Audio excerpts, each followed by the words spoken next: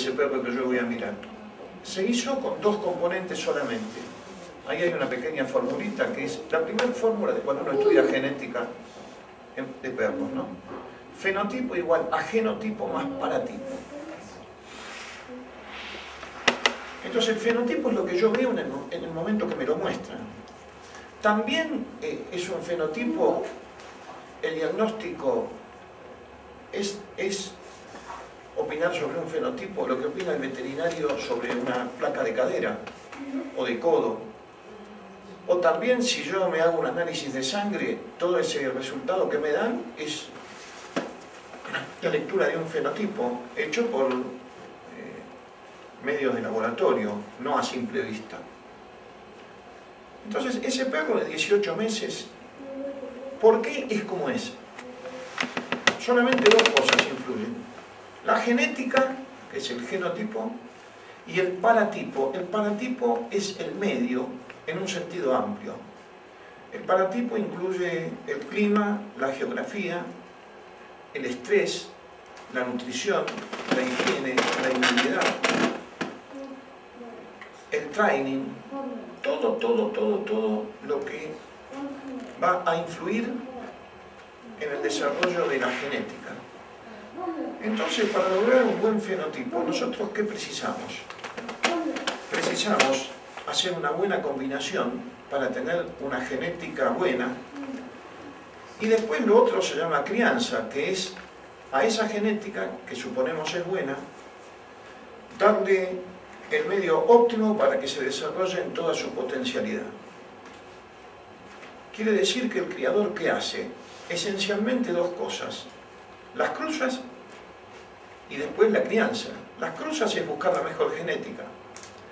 Y la crianza es todo eso que se hace para que el perro se desarrolle de la mejor manera posible.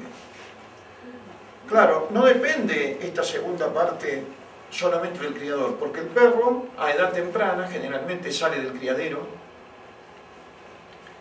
y viene la parte que se llama recría, es decir, la cría en otro lado, la cría en el, nuevo propietario.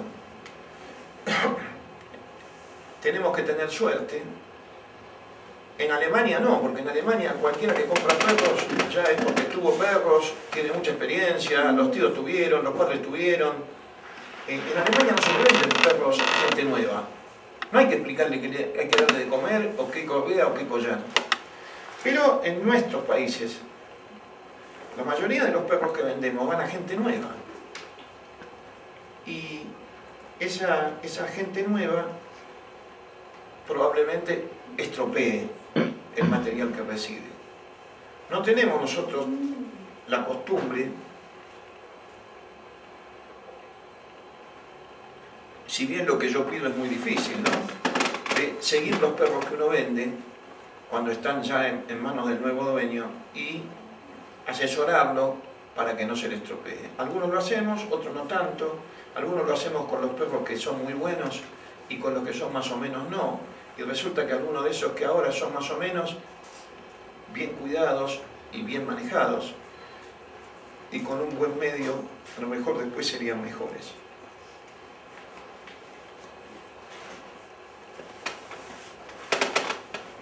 La parte del paratipo, la parte de lo que hay que hacer una vez que los cachorros nacen, para eso damos curso de crianza.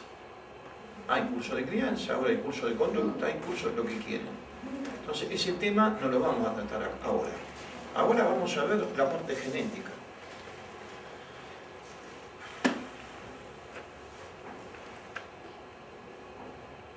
Para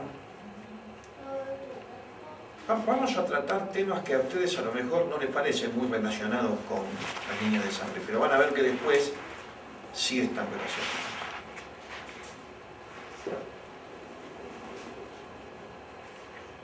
Vamos a tratar de explicar qué es la consanguinidad.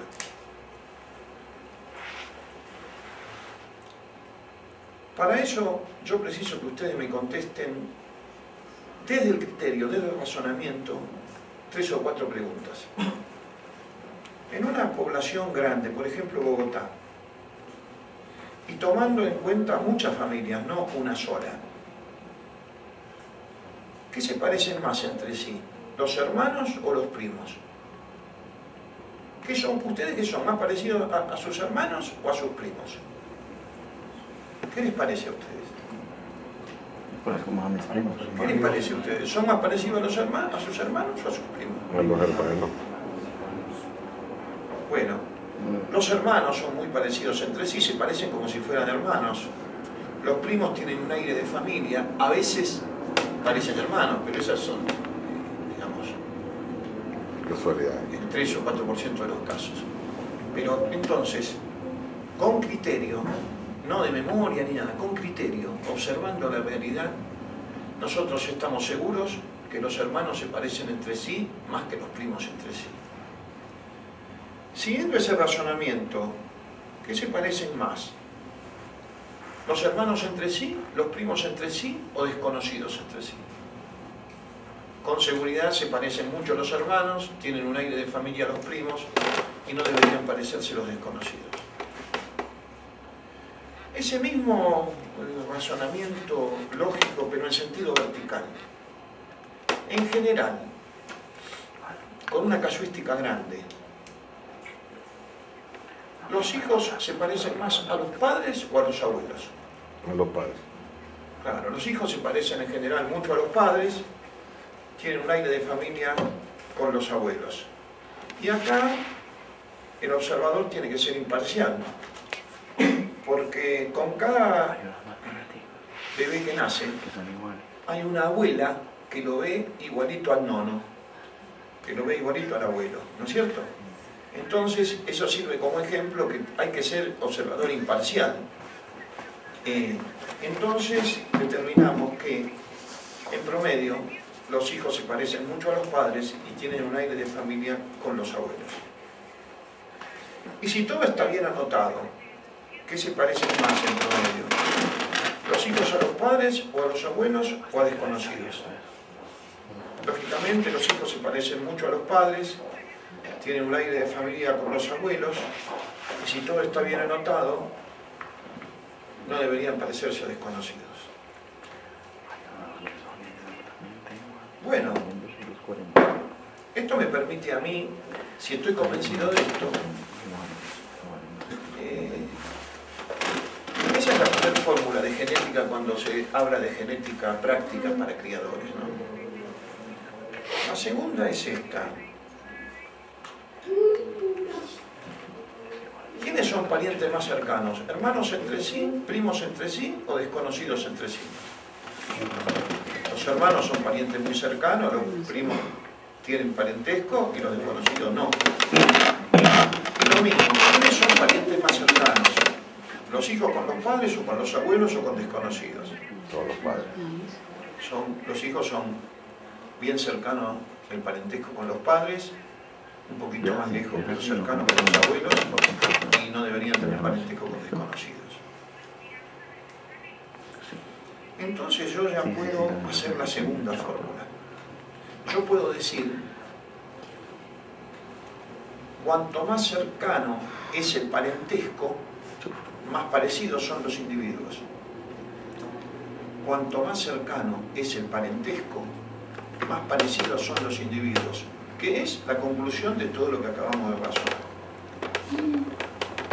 Claro, pero yo, como quiero ser un estudioso de este tema, voy a perfeccionar esta última, esta última segunda fórmula de genética. Y voy a decir, cuanto más cercano es el parentesco, más parecidos son los fenotipos. Porque ¿qué es lo que ustedes, el individuo que me muestran, qué dijimos? Que es un fenotipo que sale de la genética y el medio. Entonces la segunda fórmula es cuanto más cercano es el parentesco, más parecidos son los individuos. ¿Por qué decimos eso? Y porque los hermanos se parecen más entre sí que los primos y, y los hijos se parecen a los padres más que a los abuelos y ninguno de esos se parece a desconocidos.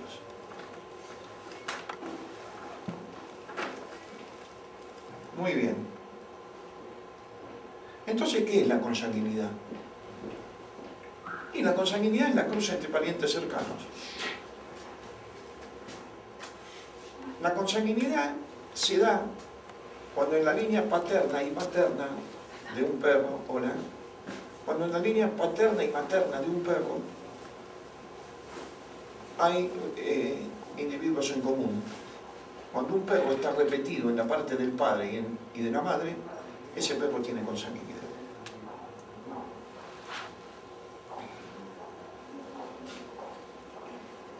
¿Qué tiene que ver esto con la línea de sangre?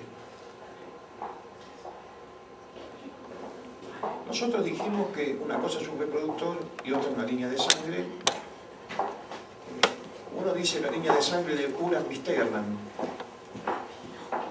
Y bueno, hasta ahora tiene influencia. O sea, pasaron 20 años y esos genes positivos este, siguen pudiendo utilizarse en forma positiva cuando uno lo hace con criterio. Claro, pero para usarlo con criterio, esa línea u otra línea, lo que hay que saber es cuáles son las virtudes y cuáles son los peligros de cada línea. Porque ustedes creen que todos los descendientes de Uran fueron campeones, no. Habrá habido peludos, de ojos claros, con manto no demasiado marcado. Eh, Entonces uno tiene que saber que de esa línea, uno qué quiere hacer cuando crían consanguinidad. Quiere fotocopiar un antepasado ilustre y. La consanguinidad por sí sola no es ni buena ni mala.